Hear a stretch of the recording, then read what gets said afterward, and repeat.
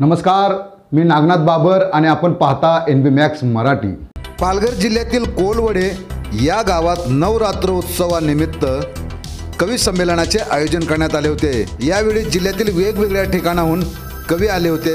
त्याने आपली कवितेच्या माध्यमातून लोकांचे मनोरंजन केले. तसेच या संमेलनाच्या प्रमुख अंतरामाळी पाटील यांनी सूत्रसंचालन केले. अंतरामाळी पाटील यांनी आपल्या व्यासपीठाच्या माध्यमातून नवोदित कवींना एक व्यासपीठ मिळवून देण्याचा प्रयत्न करणार असल्याचे म्हटले आहे.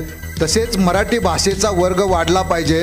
पालघरमध्ये एक सुसज्ज नाट्यगृह असले पाहिजे अशी आम्ही आमच्या व्यासपीठामार्फत मागणी करणार आहोत असे त्यांनी यावेळी सांगितले.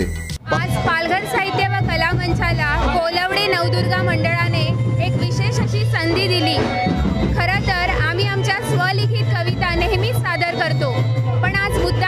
मराठी अमराठी असा गोतावळा इथे असताना आम्ही सगळ्यांनी मिळून अनेक प्रख्यात कवींच्या कविता सादर केल्या. खरं तर हा खूप वेगळा अनुभव आहे आम्हा सगळ्यांसाठी. पालघर जिल्ह्यातील सर्व साहित्यिकांना एक चांगले व्यासपीठ निर्माण करून देण्यासाठी आमचा हा समूह कायम सटत आहे. आमचे प्रयत्न आहेत की जिल्ह्यातील सर्व नवोदित साहित्यिकांना एक चांगले व्यासपीठ मिळून आपल्या हाताने चांगले साहित्य कसे निर्माण करता येईल? भाषा संवर्धन ही सुद्धा काळाची गरज झाली आहे. महाराष्ट्रामध्ये आपण आपल्या माय मराठीचा सन्मान केला पाहिजे आणि म्हणूनच पालघर साहित्य व कला मंचाचे हे प्रयत्न कायम असावेत अशी आमची